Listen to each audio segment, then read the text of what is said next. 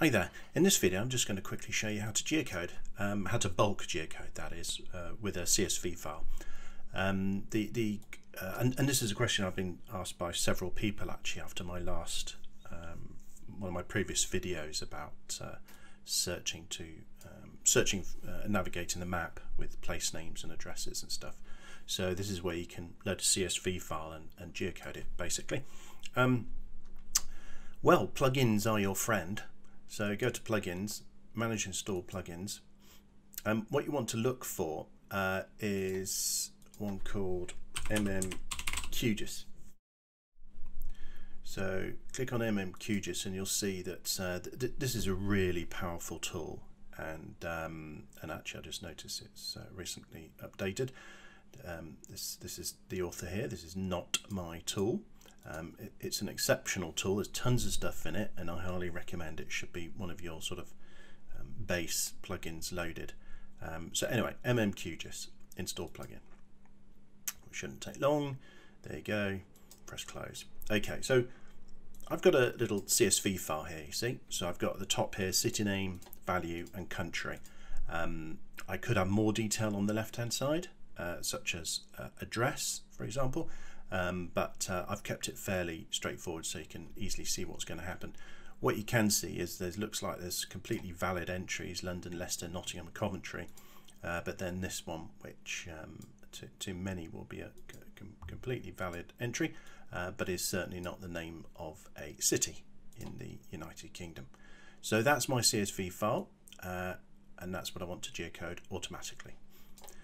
When you installed this MMQGIS plugin, you'll see the option geocode. There's loads of other options. Have a play. I might do some videos on some others, but go to geocode and um, you can go sort of street by street sort of thing, but let, let, us go to, to a city, just to a city centre. So I'm going to use the web service. My input uh, file, I'll just click on that and get my CSV. So it's geocodelist.csv. So that's in there.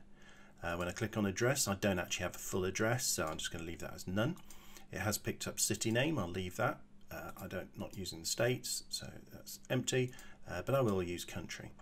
So th this is the crux of it here is the web service. You can get a free API from Google, just search for that. Um, and um, you can get a free uh, uh, free API uh, because when you when you have Google, you put your key in there. You see, um, but I think there's a limit maybe per day for the for the free service. Um, I'm, I'm um, I can't quite remember. Um, there might even be a limit for OpenStreetMap actually. I'll have to check that. But anyway, you'll you'll soon find out.